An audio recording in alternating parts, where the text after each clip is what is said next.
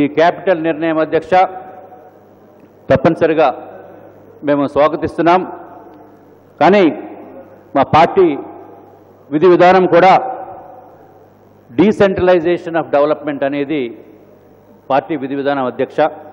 దాన్ని చంద్రబాబు నాయుడు గారు కూడా ఇదే విషయంగా అదే పద్ధతిలో అవలంబించినందుకు మా హృదయపూర్వక ధన్యవాదములు అధ్యక్ష. తర్వాత క్యాపిటల్ అనేది ఓన్లీ అడ్మినిస్ట్రేటివ్ రిక్వైర్మెంట్స్కి పరిమితం అవ్వాలి కానీ ఎన్నో వేల వేల ఎకరాలనేది మా పార్టీ దానికి అంత సుముఖం కాదు అధ్యక్ష.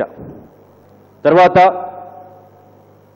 different offices HOD offices like commissionerates తర్వాత డైరెక్టర్ ఆఫ్ డిఫరెంట్ ఆఫీసెస్ కూడా. అన్ని జిల్లాల్లోని ఉండాలనేది మా భావం అధ్యక్ష.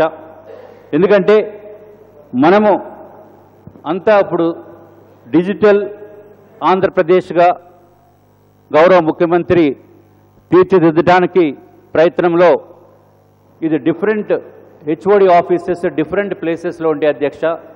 రెగ్యులర్గా కరస్పాండెన్స్ అవనివ్వండి పేపర్లెస్ ఆఫీస్గా డిజిటల్ ఇండియా మన ప్రీతమ ప్రైమ్ మినిస్టర్ గారు ఏ విధంగా అయితే చేద్దామని అనుకుంటున్నారో అదేవిధంగా నారా చంద్రబాబు నాయుడు గారు గౌరవ ముఖ్యమంత్రి గారు ఈ డిజిటల్ ఆంధ్రప్రదేశ్గా చేస్తే తప్పనిసరిగా బ్రహ్మాండమైన అభివృద్ధి సాగుతుంది అధ్యక్ష.